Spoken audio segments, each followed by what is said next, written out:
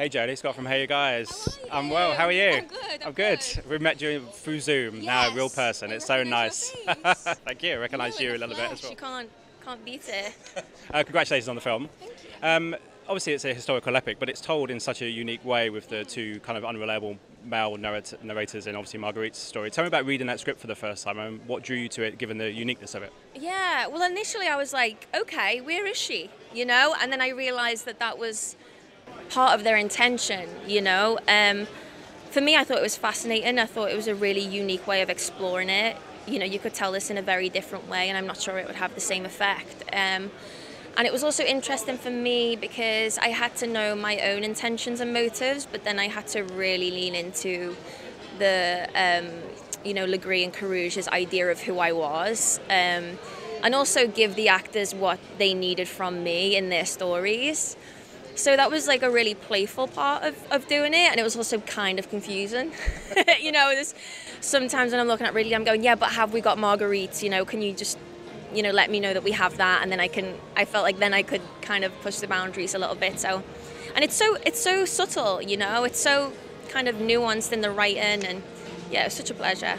And I mean, it's a fantastic cast, but tell me about working with someone like Ridley Scott. He's been there, he's done it for 40, 50 years. Tell me about the thrill of that as, a, as an actor going to work for someone like him. Well, I mean, that's the dream because I think, uh, you know, as an actor, as an actress, you're like, when you feel the confidence that a director has, you immediately settle and, and kind of breathe a little easier. You know, you know when you can rely on someone to tell you when to push it a little bit or to change it, or when they're not necessarily feeling something that you're intending to give.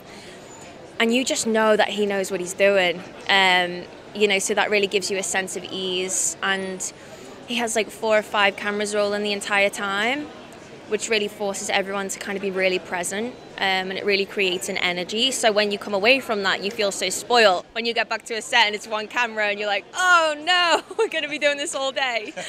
um, so yeah. Yeah, and obviously working with, with Adam, but also Ben and Matt, who have mm. co-written a screenplay, haven't done it for 25 years. Their record in terms of Oscars is one for one. So, are you are you in the? Do you think you're in the mix for it, or do you, do you not think about that stuff? Do you think about the film and the impact it's going to have on audiences? Yeah, I think I just think that all that stuff is so far out, you know, and the the main thing is that people watch what you do and it resonates with them and they connect to it and um, I think that's the first and foremost thing. And so hopefully people do, you know. Yeah. And just finally, I wanted to ask you about the success of Free Guy. I think it's 300 million dollars. People have embraced it. It's an original IP, and Molotov Girl and your character has had all these amazing kind of people have been impacted by her. How does that make you feel that it's had an impact on audiences, given that cinemas aren't still quite where people would like them to be? I love it because you know what I love about Free Guy was like it was pure joy, and I feel like it was really what everybody needed right now. Um, and again, the fact that it provided people of that and it landed at the right time and um, you know, it all kind of fell into place. The numbers thing, that means not, I don't know what that means in box office terms, but great. Um, but no, it's, it's, you know, it's again, felt first experience being on a film set, working with Ryan and Shawn, and they're just like the nicest guys uh, in the world. Um, so it was, it was great. Ironically, it's getting a sequel now. You, you, you know that? You're trying to put That's what words they've my said. mouth? I don't know if that's 100%, but you know.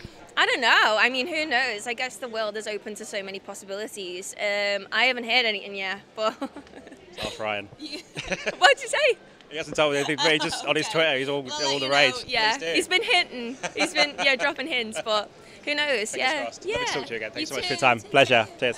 Ladies and gentlemen, you're watching Hey You Guys! Hey, you guys, huh? Hey You guys. Is that from the Goonies? It is indeed, yeah. Nice. Hey,